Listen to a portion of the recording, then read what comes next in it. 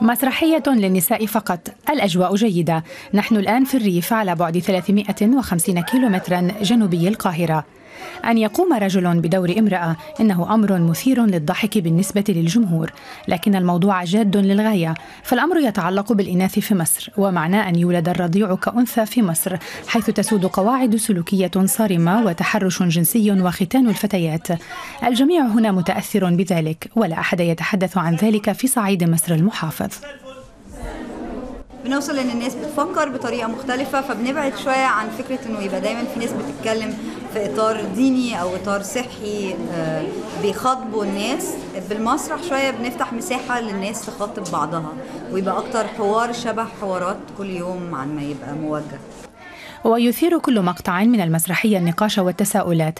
فما الذي تعلمتموه من هذه القطعة المسرحية؟ سؤال وجهته ندى ثابت للحضور وتابعت ما موقف النساء من مسألة الختان؟ وما الذي يطمحن إلى تغييره؟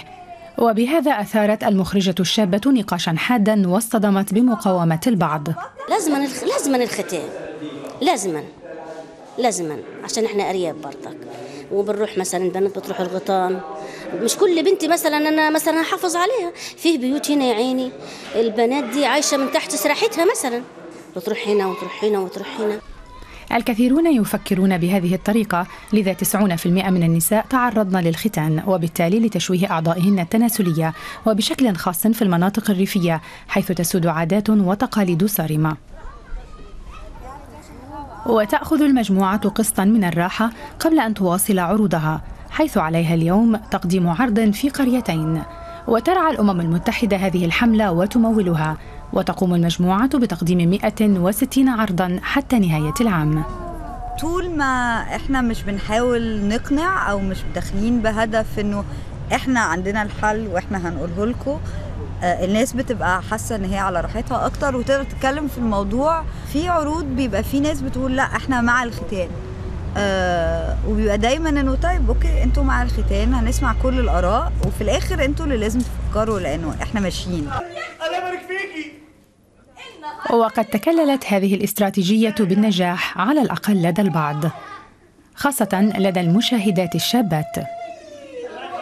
إحنا طبعا كلنا اتختنا مفيش حد ما اتختنش. بس لما عرفنا إن الختان بيعمل مشاكل للبنات طبعا إحنا مش هنعملها علشان عيالنا ما يتضر ما يتضروش زي ما إحنا هنتضرر. وتقرر النساء وحدهن في مصر مصير بناتهن فيما يتعلق بالختان. لذا ما تقوم به ندى مع فرقتها الفنية يحظى بأهمية بالغة في منع الختان وتجنيب البنات معاناة مريرة.